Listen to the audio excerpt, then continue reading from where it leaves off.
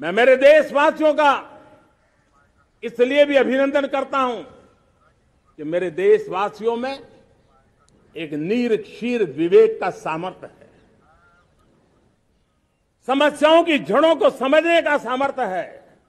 और इसलिए 2014 में मेरे देशवासियों ने 30 साल के अनुभव के बाद तय किया कि देश को आगे ले जाना है।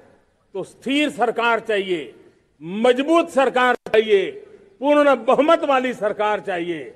और देशवासियों ने एक मज़बूत और स्थिर सरकार बनाई।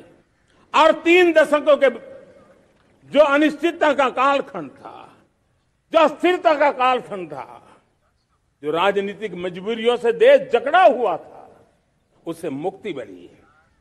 मेरे प्यारे परिवारजनों देश के पास आज एक ऐसी सरकार है, वो सर्वजन हिताय, सर्वजन सुखाय, देश के संतुलित विकास के लिए समय का पल पल और जनता की पाई पाई जनता की भलाई के लिए लगा रही है। और मेरी दे, मेरी सरकार, मेरे देशवासियों का मन एक बात से जुड़ा हुआ है। हमारे हर निर्णय, हमारे हर दिशा, उसका एक ही मानदंड है नेशन फ़र्स्ट राष्ट्र प्रथम और राष्ट्र प्रथम यही दुर्गामी परिणाम, सकारात्मक परिणाम पैदा करने वाला है। देश में बड़े स्तर पर काम हो रहा है। और लेकिन मैं कहना चाहूँगा 2014 में आपने एक मज़बूत सरकार बनाई। और मैं कहता हूँ 2014 में और 2019 में आपने एक सरकार फॉर्म की तो मोदी में रिफॉर्म करने की हिम्मत आई। आपने ऐसी सरकार फॉर्म की कि मोदी को रिफॉर्म की हिम्मत आई।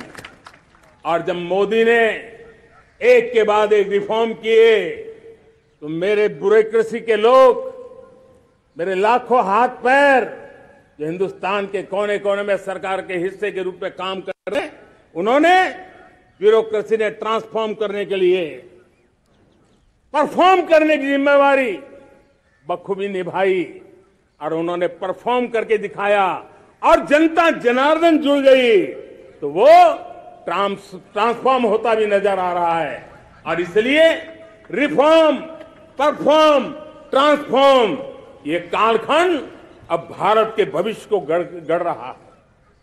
और हमारी सोच देश की उस ताकतों को बढ़ावा देने पर है, जो आने वाले एक हज़ार साल की नींव को मज़बूत करने वाले दुनिया को युवा शक्ति की ज़रूरत है, युवा स्किल की ज़रूरत है। हमने अलग स्किल मिनिस्ट्री बनाई, वो भारत की आवश्यकताओं को तो पूरी करेगी। वो दुनिया की आवश्यकताओं को पूरी करने का भी सामर्थ्य रखेगी हमने जल जल शक्ति मंत्रालय बनाया। मंत्रालय की बनाने की रचना को भी अगर कोई एनालिसिस करेगा ना तो इस सरकार के मन मस्तिष्क को बड़े अच्छे ढंग से आप समझ पाएँगे। हमने जल शक्ति मंत्रालय बनाया।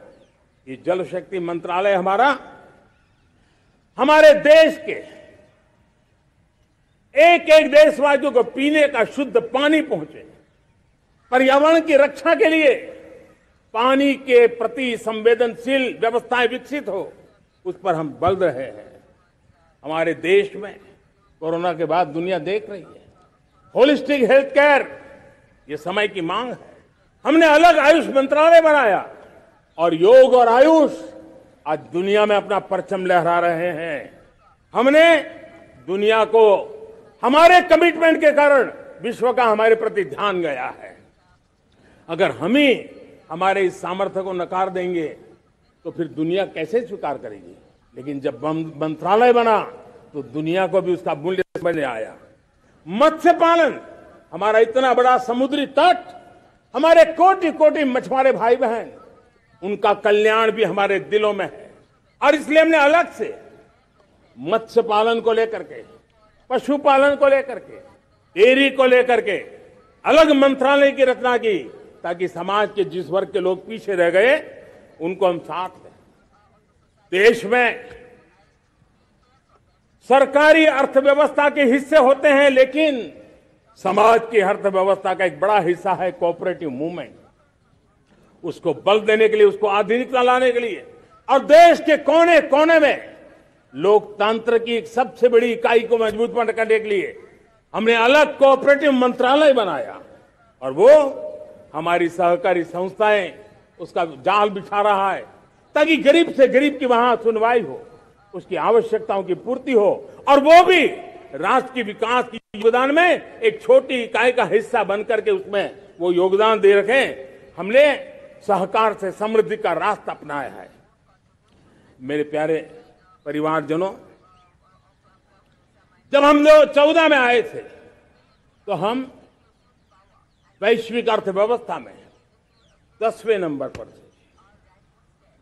और आज 140 करोड़ देशवासियों का पुरुषार्थ रंग लाया है कि हम विश्व की अर्थव्यवस्था में पाँचवें नंबर पर पहुँच चुके हैं। और ये ऐसे ही नहीं हुआ है। जो भ्रष्टाचार का राक्षस देश को दबोचे हुए थे, लाखों करोड़ के घोटाले, अर्थव्यवस्था को डामाडोल कर रहे थे गवर्नेंस फ़ाइल में देश की पहचान होने लगी थी। लीकेजेस को हमने बंद किया, मज़बूत अर्थव्यवस्था बनाई हमने गरीब कल्याण के लिए ज़्यादा से ज़्यादा धन खर्चने का प्रयास किया। और आज मैं देशवासियों को बताना चाहता हूँ कि जब देश आर्थिक रूप से समृद्ध होता है तो सिर्फ़ तिजोरी नहीं बढ़ती है, देश का सामर्थ्य बढ़ता है, देशवासियों का सामर्थ्य बढ़ता है।